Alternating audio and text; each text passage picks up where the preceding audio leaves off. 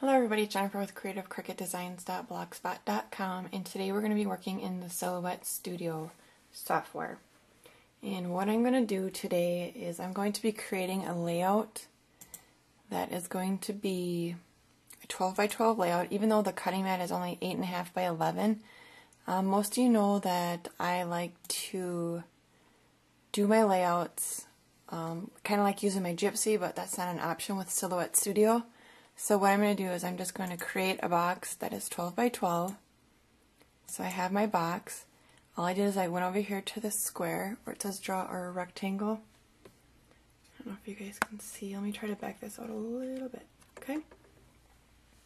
So here's my box and my dimensions are over here. And I'm just going to put 12.000 tab 12.000 and I'm not going to lock the aspect ratio because I want it to be 12 wide, 12 high. I'm going to hit apply. So that's what it's giving me. Okay. So in this box, I want to choose a color. And the color of my scrapbook background page is going to be green. So that is what I chose, green. Now it's going to be a different color in the center because it, remember it's only 8.5 by 11. But I don't mind that if it looks different. It doesn't bother me. I can work, I can still work with that. So I'm going to go to my library and I'm going to go down to Halloween. And in here is a cute little house. Here it is. Here's my haunted house. Okay. So I want to go to my size, which is right here. And let's try doing 9 inches. And we're going to lock aspect ratio because we want it all to change. Okay, let me see. Whoops.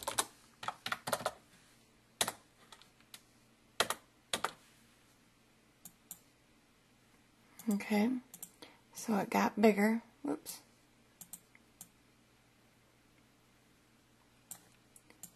Don't know if it's going to let me.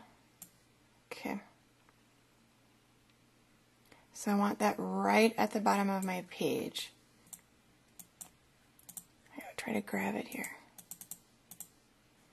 Okay, I'm going to color it in black because I'm going to cut it out in black. So what we're going to do now is we're going to go in and get our ghosts. So we're going to go back to the li oops, to the library, file, my library, Halloween and find the ghosts that I want.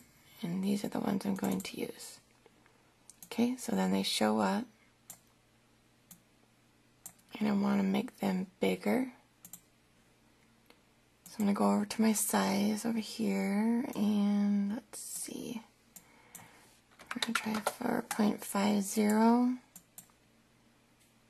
Mm, about five and a half. Think that's it. So now we're going to ungroup them. And all the pieces are going to be kind of weird, but we're just going to kind of work with, actually no. Hold on one second. I'm going to color them all white first. Okay. And then that will be fine. Okay, so I'm going to move this back over. Don't worry about the face still being there. We'll get it.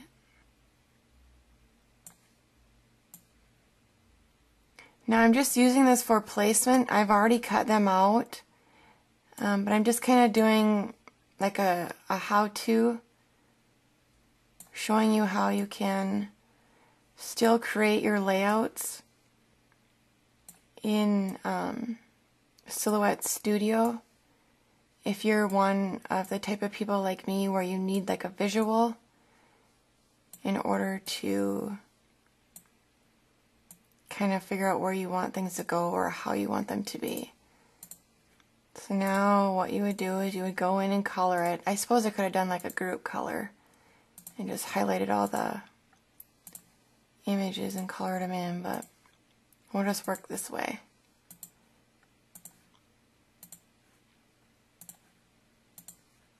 And then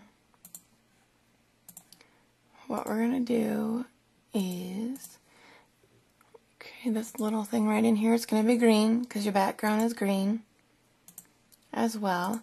And now what we're going to do is we're going to highlight the house, we're going to right click, and we're going to say bring to front. So then what it does is it covers up and because we're going to tuck these behind the house on the actual layout. Okay, I'm going to hit undo. See how the, the ghosts are over the house? Right click, oh. grab the house, right click, and bring to front. Okay. Now the next thing I'm going to do is I'm going to grab a rectangular square. Okay. I'm going to highlight it. I'm going to go over to my size. And I know that I need this to be 3 point, was it 3.5 by 5.5. So we're doing a 3.5 by 5.5 picture frame. That is going to go right here.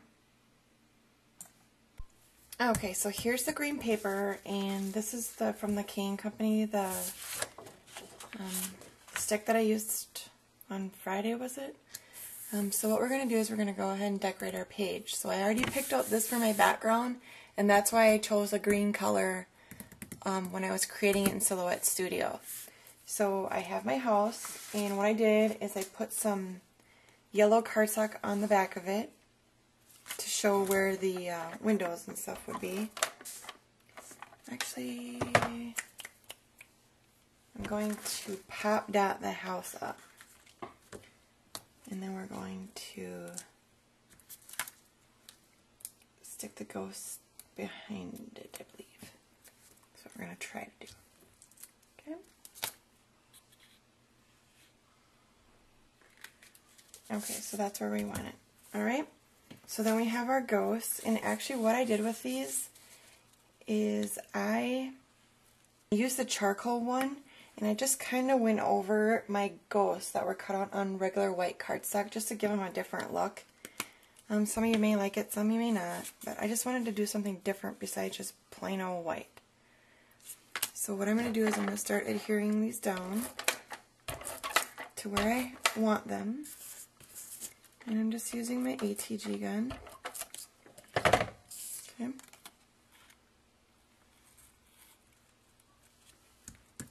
He's going to go there, and this guy's going to go at the top.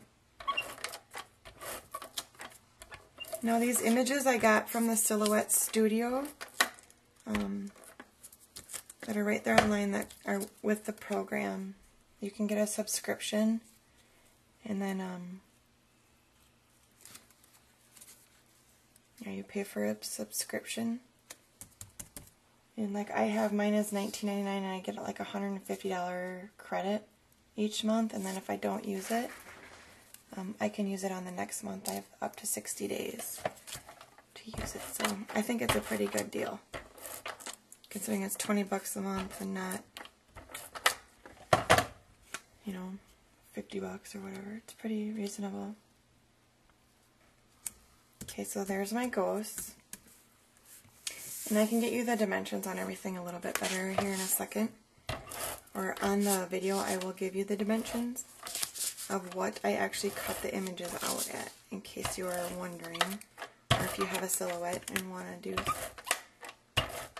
this layout as well. So then my picture frame is going to go up here.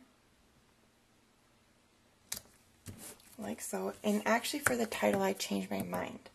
I have these Kane Company Halloween adhesive chipboard that I got probably two years ago that I haven't used and I see this spooky in here and I want to use it. Okay, so I'm going to put it on my layout here. I'm just to I'm to go all the way over to the right. And then this bat was on there. So I'm going to use him as well.